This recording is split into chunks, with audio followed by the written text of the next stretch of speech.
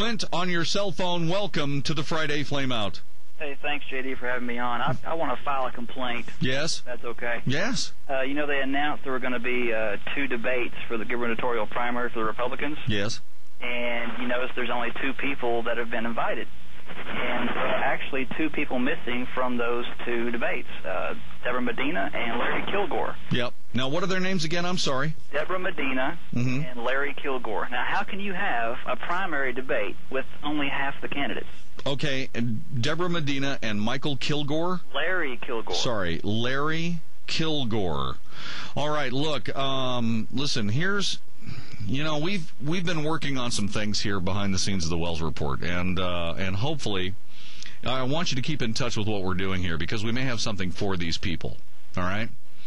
And uh, and one of the times, I guess what we did before was I I really worked very very hard at trying to get a presidential debate for the people that kept getting cut out of the presidential debates. Yeah. You know, I wanted to bring them all here. Duncan Hunter was one of those guys. He won the Texas straw poll, and the media decided that he wasn't a worthy enough candidate, so they didn't so they didn't cover him. That's what ticks me off, man. Well, you know, we got to stop that. I mean, the media cannot be the the first arbiter of who gets to be our president. That is just insane.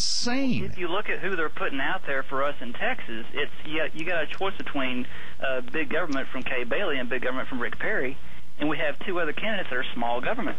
Yeah.